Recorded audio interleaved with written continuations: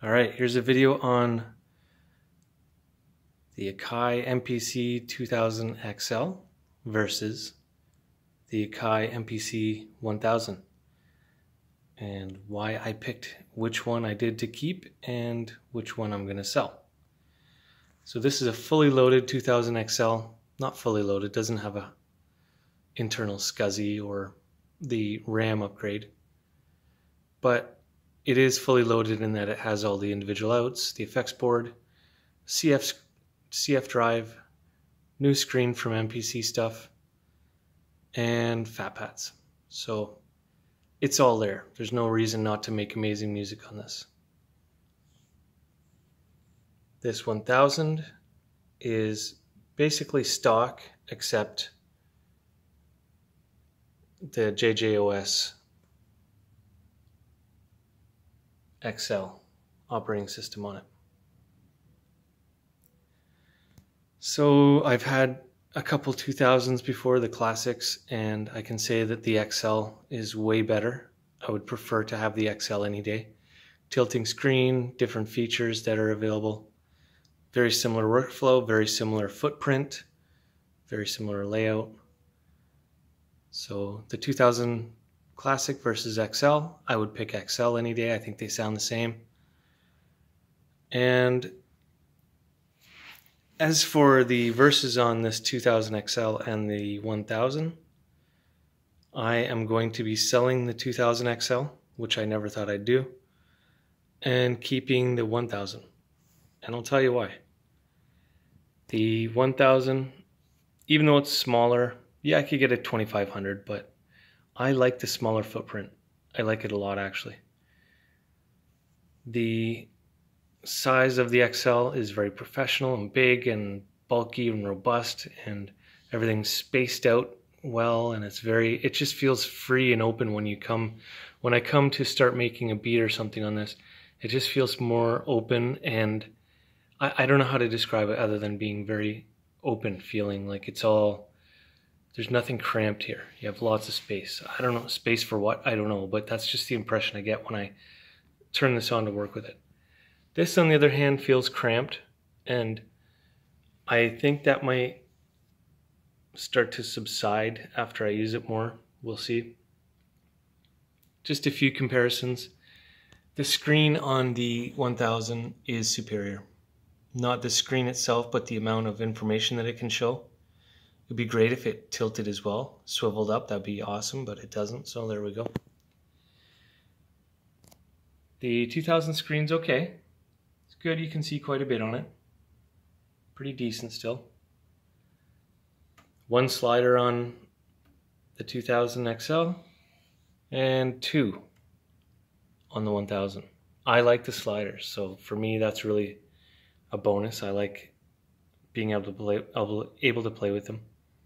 In terms of pad sensitivity, I don't really notice a difference. I think they're pretty much the same to me. The tighter layout of the pads doesn't seem to bother me. The data wheel on the 1000 is a flat dish almost, and some people don't care for it. I like it. I think it's pretty good. A lot of people say that the 1000 feels like a toy. I didn't ever get that vibe. It's got a metal case. It's heavy. It's surprisingly heavy when you pick it up. I don't think there's anything toy-like about this other than maybe the the interesting color pattern that they chose on it, the color scheme. These two both have CF drives, so there's no real benefit on either except the 1000 you can hook up with your with a USB to your computer and manage the files. And that's a big deal for me. Also, the card capacity is higher. I've been able to get up to 4 gig working on this. People, I think, have said that they can get more. I haven't been able to yet. Perhaps it's just a matter of getting the right card. This one I've been able to get 2 gigs on that CF drive, which is amazing. Way better than zip, way better than floppies. You know, it's it's so much better. But even just saving and managing files on the XL. I don't like it as much as the 1000. I find it's, even without the USB, USB uh, aside, it's just much easier for me to save and even scroll through the directory when loading something on the 1000. And the, let's go around the back here. The outputs.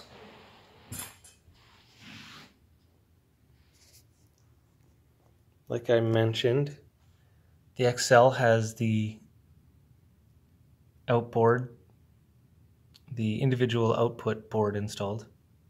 So it's got eight individual outputs and then two stereo. And the 1000 comes stock with six total outputs, four individual outputs and two stereo outputs. Now I thought this was going to be a bigger deal. Perhaps down the line it will be. Maybe I will kick my butt and say, why did I sell the, the XL? Because I want to track out, you know, seven or eight individual tracks into my interface. But it really doesn't come up because the way that I work is I like to make beats on my MPC. I'm not really um, make, trying to make a whole track on it in terms of, you know, chopping and everything. I make beats. These these are basically beat machines for me, and that's another reason why maybe I don't need something so large. Is um, I make beats on it, so it's like a drum machine for me, a sampler drum machine, for the most part. I, I do occasionally chop a little bit, but not much. I do that on my DAW, which I find is a, a much better way for me to do it. So, yeah, I'll be selling the XL. I am actually selling it and keeping the 1000. The aesthetics, I think the 1000 or the 2000 XL looks way better than this blue and red scheme. I really like the the black um, murdered out, I guess they call it. 1000. Maybe I'll do that one day. I doubt it though because it it just makes beats for me and it's got a wacky color scheme, but whatever. It makes it produces results. Sorry, the other thing is the effects. Got maybe a few more things to mention here. The effects on the XL, this has the effects board, they're decent. I would much rather an XL or a classic with the effects. I actually like the distortion and the, the reverbs. It's decent in my opinion. The effects on this are that much better. I like the master compression and master EQ a lot. I think that adds a lot to the sound. It's amazing actually. And the operating system. I don't have much to compare with in terms of the stock Akai operating system because I upgraded to JJOS pretty quickly. But the operating system on the 1000 is superior in my opinion. I much prefer it gives a lot more control. It seems like it's a lot more um, immediately available, and it just seems like um, well, it's partly JJOS, so it's that's a little hard to say. But even the fact that you can upgrade it to JJOS is again another plus for the for the 1000. What am I going to miss about the XL? I'm going to miss how it looks. If I'm going to be honest, that's all I'm going to miss. I think it looks amazing. It's such an icon so iconic rather. But in terms of, you know, turning on a machine and making some music with it, I I pick the 1000 pretty much every time. It can sit on my lap. It goes in a backpack. Um, sits well in the studio. Has the same number of MIDI in outs. Um, a lot of people will say they love the sound of this better than the 1000. I'm, I'm not feeling it all the power to you if you love the, the classic and the 2000 XL. But uh, it's so funny because when I bought the, the 2000 classic way back in, I don't know, 96, 97, whatever it was, I was not impressed with the sound. And I, I, from what I understand, a lot of people weren't impressed with the sound at the time either. They thought it was a big step backward and actually pretty flat. But you add 20, 25 years and then it becomes that sound. It becomes vintage. So it's all a matter of taste, yeah. I personally love how I can get this to sound with the effects and the master compressor, master EQ. This just has it all for me. I'm digging it. So there you go. I don't know if that will help you make a decision for yourself. I know there's a great renaissance for these right now. A lot of people are. There was a, a few years ago, you you couldn't sell these for 300 bucks. You just couldn't. Not in my area. Now, kind of like records or tapes, they seem to me seem to be making a comeback. So there we go. That's the cycles and trends of outboard gear, I suppose.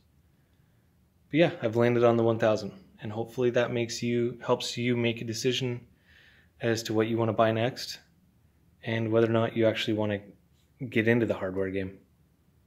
Thanks for watching. I'll catch you on the next one.